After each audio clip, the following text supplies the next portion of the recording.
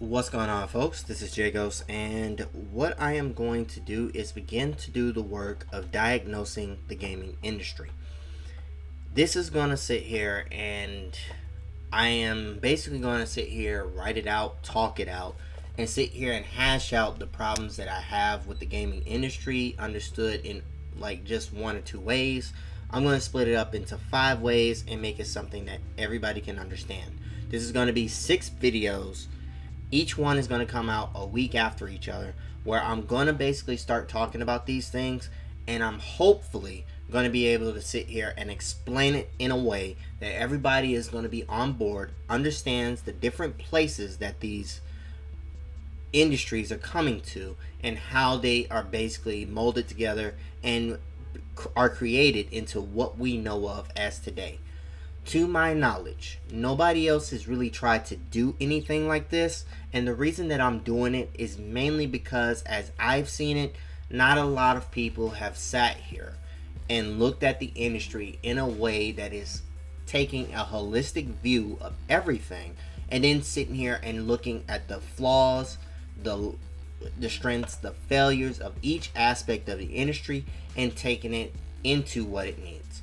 Now, the fact of the matter is, with this being one of the first videos that I'm doing on it, I love to sit here and hear what you all want to see out of this series, what you all want to talk about out of this series, take some criticisms, so that way as I talk about each part of the industry, that I'm going to sit here and split into five groups.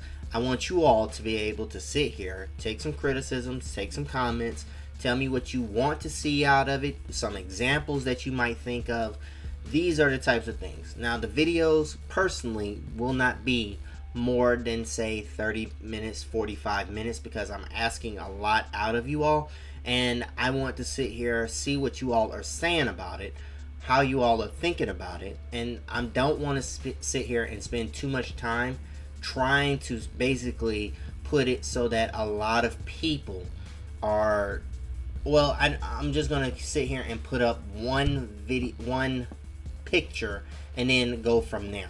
Because the fact of the matter is, with something like this, with this being one of the first videos to be done about this type of topic, some type of economic historical analysis of that, you all have to see where the industry came from, how these things came up, and what are the challenges that each one faces so that way you all can sit here and look into the gaming industry. Now, from here, after I finish all of this, what I plan to do is sit here and make sure that some of the criticisms and commentary that you all are seeing all over the place, I'll be talking about that, but I'll be always alluding back to these videos in order to make sure that everybody is going to be on the same page. So that way, if I'm going to be talking about publishers, I'm going to sit here and refer you to this to that video. If I'm talking about marketers, I'm going to refer to that video, etc., etc. Now, the reason that I have this split up into five different groups is because a lot of people sit here and don't understand the difference between the gaming communities and the gaming industry.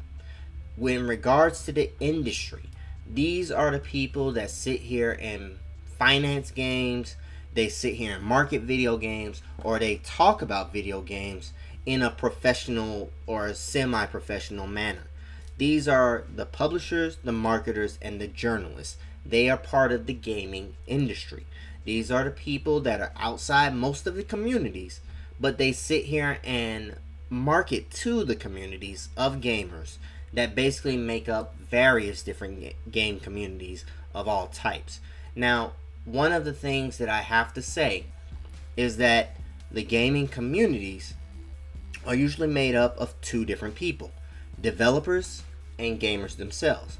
By default, when we're talking about the gaming industry, the gaming communities, or anything, by default, most people are assumed to be gamers until otherwise noted. Unless they are otherwise noted in any way, shape, or form, just assume that they're gamers and for the most part, when you look into the gaming industry, those people are not assumed to be gamers, but the gaming community, by default, gamers. That's just one of the distinctions that I want you all to make. You can market games, but you may not care for them at all. You may sit here and be a journalist for video games and you don't care for video games at all. Or you may be a publisher like Bobby Kotick and you will not care for games but you make money off of them. So, this is how that that dichotomy works. We see that one group likes video games, the other group does not. And this sits here and basically sets us up for what is going to happen in regard to talking about video games. When I'm talking about the gaming industry, I am going to talk about aspects of the gaming industry that are going to sit here and make something finance a game, try to find developers to sit here and make the game, they are going to sit here and give the tools and the resources for the game to the gaming community in some way, shape, or form so that game can be published or whatever. This is something that I've had a basic framework in, in with the Inafune report. However, this is not something that I've talked about much here, but this is something that's going to be very, very pronounced and developed so that way I can talk more about it. And when I sit here and from now on, when I'm talking about the gaming industry, I want you all to understand that is either publishers, marketers, or journalists. While I'm talking, when I'm talking about the gaming community, I'm usually talking about developers and gamers. And as always, gamers are usually the default. Developers usually come from gamers, somebody that enjoys video games and then sits here and raises to the next level to create their own video games. It doesn't matter if it's a Newgrounds game, it doesn't matter if it's a game on Steam. Usually, gamers are the first ones to sit here, enjoy a game, and then sit here and decide to educate themselves on video games and take it to that next level to market their own games, create their own games, either in a small capacity or with a publishing unit of some sort, whether that's Steam, whether that is they created their own little one one man shop. Those are the types of things that a lot of people really don't understand, really need to sit here and be talking about, really need to be discussing, but we haven't had that language quite yet. So that's what I plan to do. This is something that I want everybody to sit here and look into.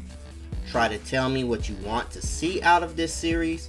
Hopefully, I can sit here and try to answer a lot of questions because I think that's something that's going to really try to make the gaming community a lot more easier to understand when people can talk about it and then they're not confused about, well, the gaming industry is XYZ, but we only have X, so everybody talks about it that way.